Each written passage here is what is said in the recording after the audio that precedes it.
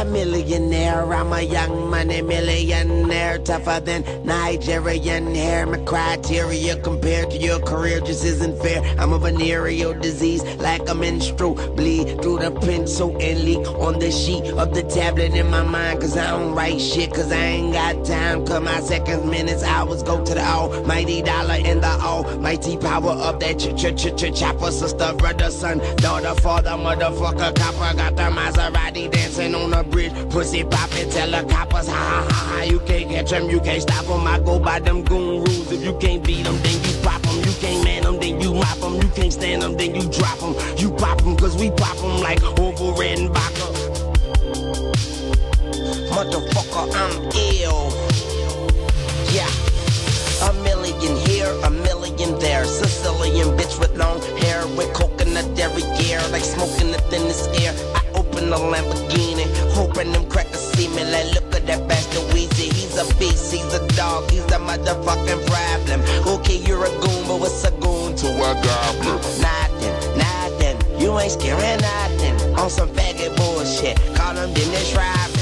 Call me with your own bitch. Call me on my sidekick. Never answer when it's private. Damn, I hate a shy bitch. Don't you hate a shy bitch? Yeah, I hate a shy bitch. She ain't shy no more. She changed her name to my when she asks for the money, when you through, don't be surprised, bitch. And it ain't trickin' if you got it. But you like a bitch with no ass. You ain't got shit. Motherfucker, I'm ill, not sick.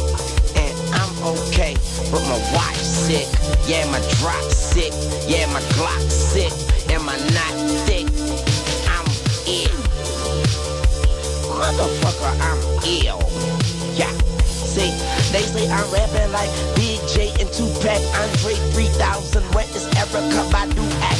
Who that? Who that said they gon' beat Lil Wayne? My name ain't Bic, but I keep that flame name. Who that wanna do that? Boy, you knew that you that swallow. And I be this shit, now you got loose bowels. I don't owe you like two vowels. But I would like for you to pay me by the hour. and I'd rather be pushing flowers than to be in the pen sharing showers. Tony told us this world was ours, and the Bible told us every girl was sour. Don't play in a garden and don't smell her flower. Call me Mr. Carter, Mr.